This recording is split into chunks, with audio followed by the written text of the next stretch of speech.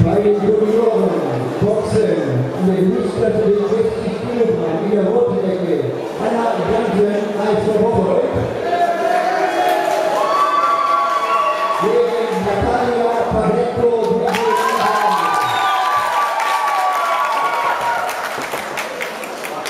Dieser Kampf geht über drei Runden an zwei Minuten.